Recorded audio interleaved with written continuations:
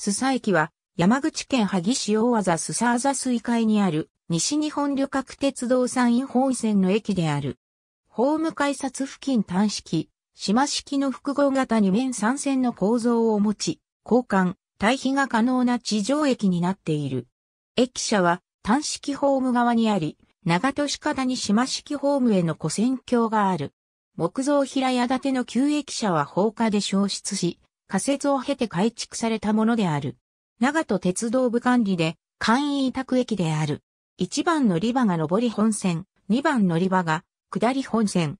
駅舎から最も遠い3番乗り場は上下副本線であるが、場内、出発信号機の使用が停止されている。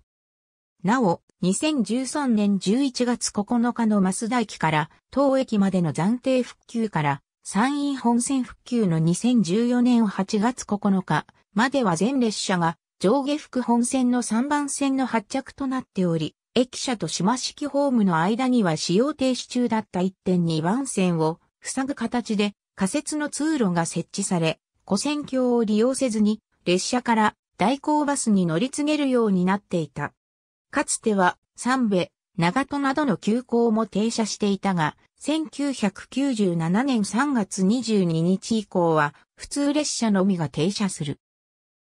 2003年9月30日までは、夜間大白が1本設定されていた。駅前1日の平均乗車人員は以下の通りである。ありがとうございます。